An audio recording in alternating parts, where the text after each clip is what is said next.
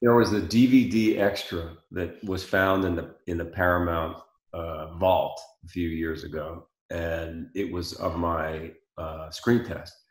And I looked at it. They sent it to me because they wanted to put put it on as a DVD extra, and it blew my mind. I mean, I literally had to go into the bathroom and look at myself and see if I could see that that was the same guy. There was so much hunger there. It was this, this combination of like cockiness and hunger. And I have to say that you get better over time. And I don't look at, at my movies because I just, I have a hard time seeing, you know, the mistakes and the choices, different choices that I could have made. And, and, all kinds of stuff. It's just it's not a good place for me to go. Yeah. But to look at that screen test, I honestly thought to myself, yeah, I think I would have given me the part too. You know? Yeah. And and as things go, it was a life changer. The weird thing about it though, was we're talking about fame, is that you know, when that movie came out, I had the kind of fame that I had always wanted to have.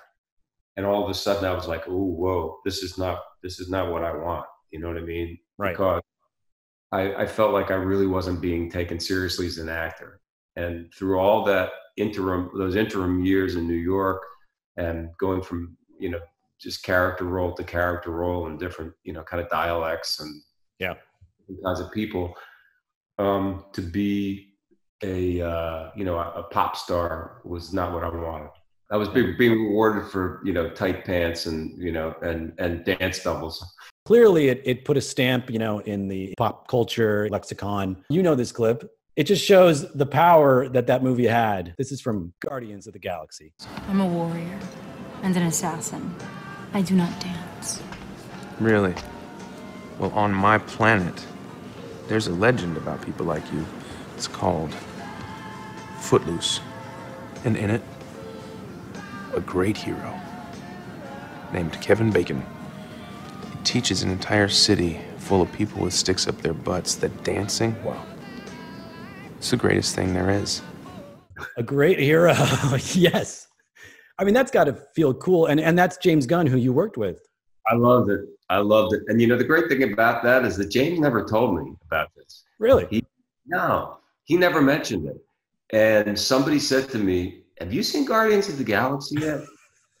and I said, no, I haven't. I haven't seen it. And he said, you should see that, that movie.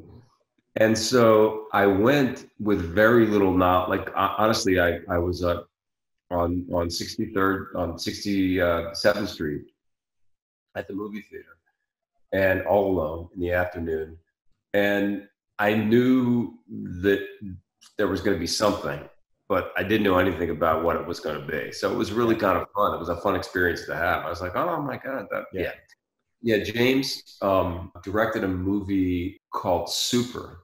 And when, when James called me up to do Super, he said, I'm doing this tiny little movie and Jean Claude Van Damme fell out.